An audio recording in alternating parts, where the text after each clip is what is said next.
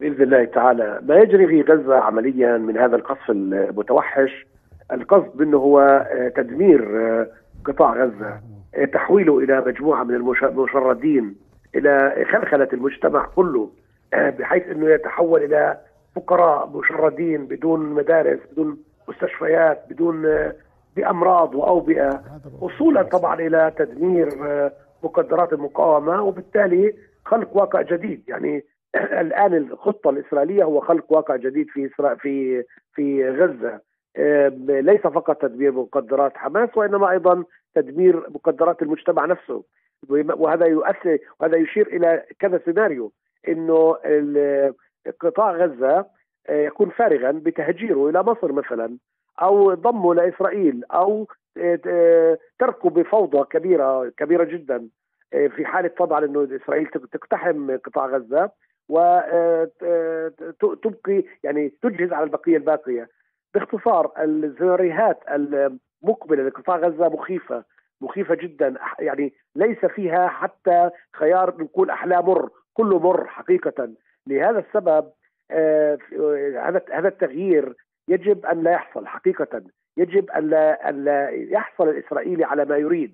لأنه في حالة تهجير غزة هذا سيعمل على تهجير الضفة الغربية أيضا وبالتالي يجب وقف هذا الأمر تماما لأنه صحيح أنه اللي يحصل صعب صعب جدا ويجب التنبه له تماما لأنه المحتل الآن يبدو إنه مستغلا الدعم المائي الدولي بده يخلص حسابه كله مع الجميع على فكرة مع الجميع وبالتالي هذا يفسر لماذا قال نتنياهو إنه بده يغير الشرق الأوسط. لذلك أنا برأيي إنه إسرائيل الآن تصرف كأنها ذئب جريح وهي ليست كذلك هي تدعي انها ذئب جريح وامريكا أو العالم الغربي كله الاستعماري أعطى إذن إذن إنه يدمر كل ما يريد حتى يشبع حتى يرتوي حتى يحقق أهدافه وبالتالي قد يعني قد يبتعد كثيرا جدا جدا جدا في محاوله تصفية حساباته مع الشعب الفلسطيني. نعم، دكتور أحمد حقيقة يعني من خلال حضرتك يعني أستشف بأنه أنت تقول بأنه نتنياهو استطاع أو نجح في استعطاف الرأي العام والشارع الأوروبي والشارع الأمريكي ومن خلال ما قدم من صور وبأنهم مستهدفون وما إلى ذلك. لا لا هي المسألة مش إنه قدم صور هاي الغرب الاستعماري دائما مع إسرائيل هو اللي صنع إسرائيل. نعم. هو اللي يعني هو يشغل إسرائيل أصلا مش صنعها بس ويشغلها حتى اللحظة. وبالتالي الغرب ما بده صور. طب ما في إحنا اعطيناه صور. إحنا الفلسطينيين اعطيناه صور من سنة 1948 صور نعم. المذابح والطرد والقتل والهدم والاستيطان والمستوطنين. اعطيناه صور ليوم الصور. هذا هذا عقل مش عاطفي. هذا عقل استعماري. بده نعم. مصالحه. وإسرائيل هي تشغل وتدير وتحمي هذه المصالح. المسألة مش قائمة فقط على الإعلام يا صديقي. نعم. طيب دكتور أحمد اليوم يعني نتنياهو يعلن عن ائتلاف للحكومه جديدة حكومة طوارئ ربما هذا يعني يعطيه مزيد من عمر لهذه الحكومة وهو بذلك يعني يحقق مكتسب. حكومته كانت على الحافة كما تعلم في ما قبل معركة غزة الاحتجاجات بالملايين. كل يوم سبت في المدن الإسرائيلية كانت الشوارع تمتلئ اعتراضا على إصلاح النظام القضائي اعتراضا على قانون قومية الدولة أو قانون قومية الدولة اليهودية وما إلى ذلك وأيضا هو ذاته متهم بالفساد مع زوجته وابنه. نعم هذه هذه الحرب عمليا أنقذته إلى حد ما أنقذته لكن ليس ليس كثيرا ولكنها أنقذته نعم. وحكومه الطوارئ أو مجلس الحرب أو حكومة الحرب التي شكلها آه ستعطيه عمر حقيقة وأيضا ستجعله لا يتقدم إلى محكمة وأيضا حتى الخلاف الداخلي اللي بينهم حول الإصلاح القضائي أيضا توقف لأنه في حرب. وكذلك يعني يعيد بعض الثقة التي فقدها جيش الاحتلال أمام جمهوره بالإضافة إنه عنده بصير حكومه أكثر بين قوسين كفاءة ومهنية في قتالها مع الفلسطينيين. لذلك نعم هذه الحرب وجعلته وجعلت نتنياهو ضيف يعني محبوب عند البيت الأبيض وبايدن بيحكي معه أربع مرات وبلينكن بيجي عنده والعالم بيعطيه ما يريد من من دعم ومساعدات إلى آخره.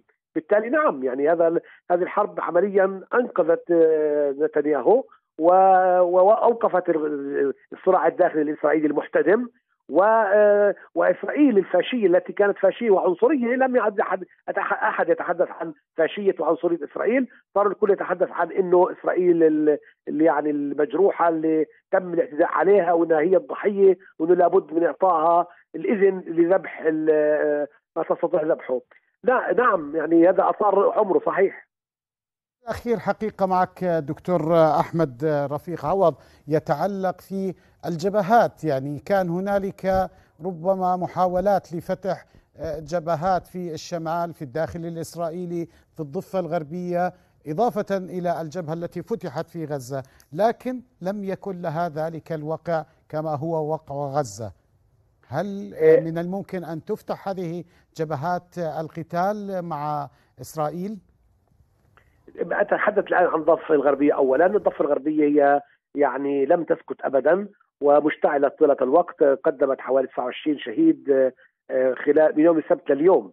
29 شهيد في حوادث مقاومة يعني في مختلف القرى والمدن الفلسطينية، قدمت حوالي 290 شهيد من أول السنة، أول سنة 2023 الضفة الغربية يعني جبهة لم تسكت ولن تسكت بالتأكيد يعني.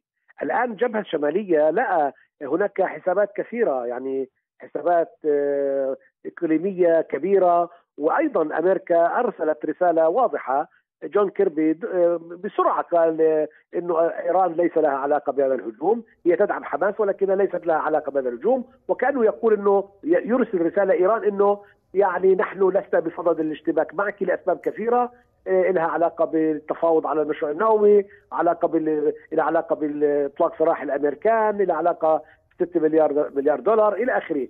حما...